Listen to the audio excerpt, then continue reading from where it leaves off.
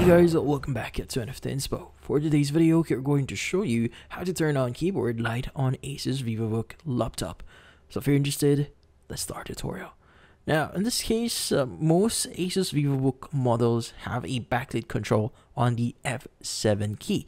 So in this case, you want to look for a small icon that resembles a glowing rectangle or light symbol on it. Now, just to give you some example here, we have a bunch of keyboards in our screen. So look for the F7. So if your model supports this one, usually it's going to be on the F7. Now, this case, in my case, we have the second uh, keyboard here, which in this in this case indeed has the keyboard or box that has the light functionality.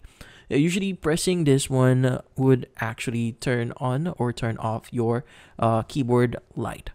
Now, in this case, if that's not the uh, key or you don't see that specific option for you, the next thing you want to do is you want to activate the keyboard light, which in this case you need to use a, a, a number of combinations.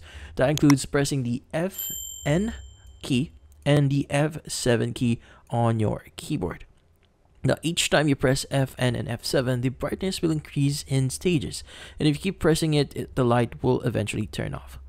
Now, if you don't see the backlit uh, symbols on F7, it may be on the F3 or F4 keys instead. So in this case, you can use F4 to increase brightness or F3 to decrease it. So in this case, you want to look for Fn and F3 and F4. So this is just for other models that you see out there.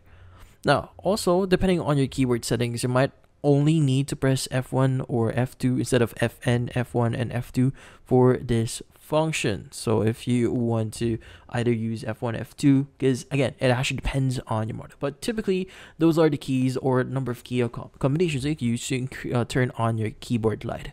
But in this case, that's about it.